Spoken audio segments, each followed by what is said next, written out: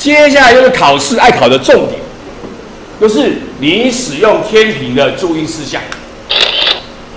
第一个，如果你要量化学药品，化学药品就要用称量尺或者称量笔，不要让那个药品直接碰到你那个秤盘上面，上你天平那个米那边，你的茶发生变化、腐蚀啊什么之类的作用，就要垫一张称量尺。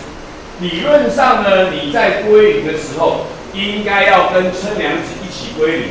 可是待会我会看到的那个影片啊，这个影片没有把称量尺拿去归零，另外放上去，再放上去，OK，这样不可以直接放。第二个，这我们上次跟你交代过了啊，取用砝码要用什么？镊子，不要拿你的奶油桂花手去做去拿啊，你的奶油桂花手上面有油。啊，会有一些作用，可能会腐蚀，会使它生锈，需要拿镊子去拿它。这个是这个当我影片也有，就是左边那个是比较大的，要怎么拿？右边那个是比较小，要怎么拿？那天做实验的时候，有大哥就不会拿，拿不起来啊，不会拿不起来，还要我去帮他拿。OK，就是看你左边怎么拿，这道影片也有，左边怎么拿，右边怎么拿，小便怎么拿，大便怎么拿。OK，当回影片也有。就是你重的放中间，它比较稳固，重的放中间比较稳固啊，不要让它晃来晃去、摆来摆去啊，让它重心稳固一点。然后呢，这个就是我们平常做实验啊，请问你这个东西有几克的时候是左边放东西，右边去加砝码。太多拿掉，太少往上加。可是如果我是请你量五公克的氢氧化钠的时候，你是先放五公克的砝码，再去加药品，然后或者是把药品拿走，让它跟它平衡。所以我待会放个日本的影片，我放的日本影片比较照平常这样做的。可是有一个日本影片是量药品。他就是把药品放在，他就把药品放在左边，砝码放在右边，就是那个我需我需要，要讲错，砝码放在左边，药品放在右边，就是我这个需要是增加减增加减少的人放在右边比较好好动，因为右撇子人多嘛，比较好处理啊，所以所以如果是要量药品的时候，是先放好砝码。再去增加或减少药品，让它的量是一样的。好，这是就是使用天平的注意事项。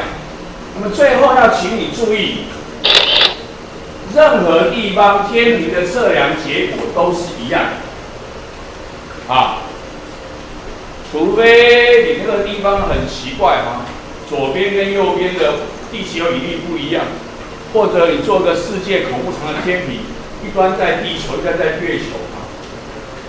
这样才会不一样，否则你的天平的测量结果到处都一样。这句话就是告诉我，质量会不会变？不会变，到处都一样。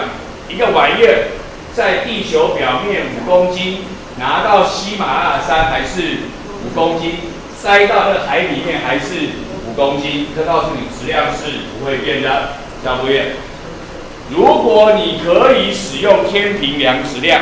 那么你到处量的质量通通都一样，前提叫做可以使用天平，但是在失重状态是无法使用天平，就是那个像环绕地球的太空船，你们看到影片，太空人飘来飘去，有没有？飘来飘去，这叫做失重状态。我这里也写个无重力啊，不是为了配合，但事实上。我们的太空人那个不叫做无重力，叫失重。这我们国中并不会好好的跟你解释，我们不会好好跟你解释为什么会失重什么之类的，你就只要知道它是感觉像是没有重力的样子就可以了。等一下，感觉像是没有重力，没有地球引力，但是啊还是有，还是有。好，那以后会跟各位简单的说一下，这个地方就没有办法使用天平。因为天平的平衡的真正原理是力矩平衡，是有个力量拉它，然后呢棍子会转，这叫做力矩。三年级才会教。天平的平衡实际上是力矩平衡，所以如果你没有人拉它，它会不会转？不会。所以你左边放一只老鼠，右边放一只大象，它还是平的，它就不会动。和这两个质量一样，靠脱离啊。